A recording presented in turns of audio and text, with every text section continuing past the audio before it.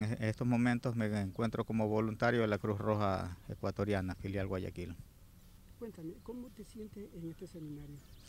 Bueno, es una, es una emoción y una experiencia tremenda, vista que en lo personal nosotros hemos aplicado las, los métodos tradicionales, pero nos hemos dado cuenta que eso no, no sirve de nada. En cambio, el método Halcón es el método más eficaz y es extremadamente rápido y efectivo y se lo ha comprobado no solamente en prácticas o en entrenamientos, sino en hechos reales. En este momento terminamos de hacer un, un entrenamiento nomás, pero lo que yo le digo es que se ha constatado efectivamente en, en, en eventos reales, como sucedido en el último terremoto aquí en, en esta provincia.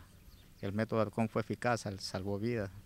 Quiero expresar mi felicitación y mi agradecimiento al señor alcalde y a la población en general por cuanto nos han, nos, han abierto los brazos, nos han acogido, gente muy amable, muy acogedora y se está respondiendo de una manera favorable en que, en que nosotros le vamos a retribuir esta bondad que tienen hacia nosotros con nuestros conocimientos y implementando el rescate y el salvamento de personas en, en alguna situación de emergencia.